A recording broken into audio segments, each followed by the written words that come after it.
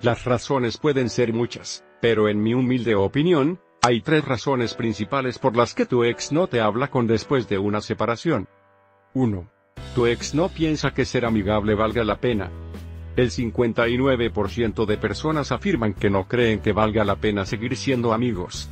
Ahora, tengo mis propios pensamientos sobre ser amigos con tu ex después de una ruptura, y cómo puedes usar eso para ayudarte, pero en general creo que esto dice algo interesante sobre por qué tu ex no quiere hablar contigo.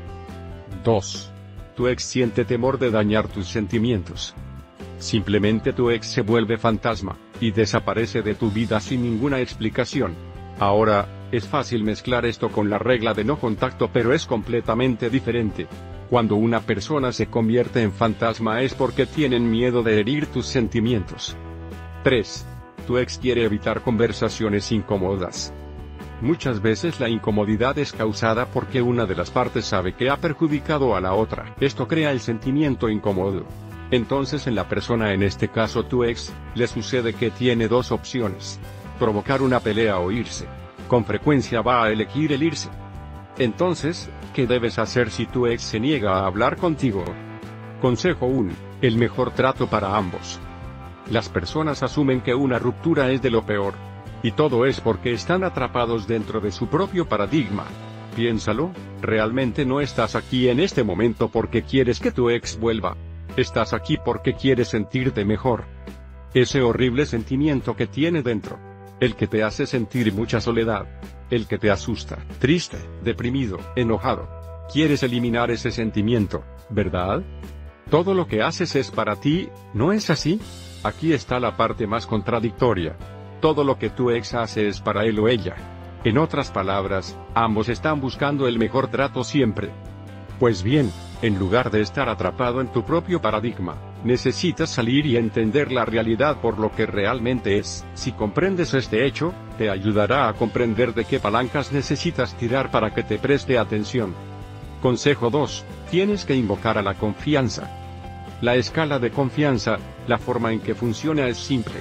Cada uno de nosotros coloca a las personas en esta escala de manera diferente. Y mucho de eso tiene que ver con la confianza. Por ejemplo, no le vas a confiar a un extraño tu corazón, ¿verdad? El mayor error que veo cometer a las personas cuando intentan recuperar a su ex es que arrogantemente creen que están por encima de todos los demás. De alguna manera piensan que compartir un nivel de confianza con alguien en algún momento de sus vidas los pone por encima del resto del mundo. Convenientemente olvidan que se produjo una ruptura pues ya te digo que no puedes actuar como si todavía estuvieras saliendo con esa persona. En cambio tienes que trabajar para subir la escala de confianza.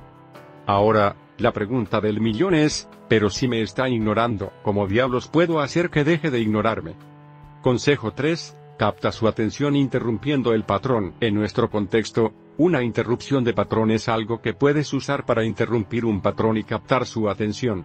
Las interrupciones del patrón están definidas por la curiosidad. Es esencialmente algo que ocurre y que crea suficiente curiosidad para merecer atención. Los mensajes de texto son peculiares para captar la atención de tu ex. Tu ex puede leer ese mensaje de texto, y preguntarse de inmediato qué es ese secreto. Sé que te puede sonar como un sueño hecho realidad, pero podemos ayudarte a hacerlo realidad. Me alegra decirte que no tienes que vagar en la oscuridad, esperando a tener suerte. Aprovecha nuestra experiencia y recupera a la persona que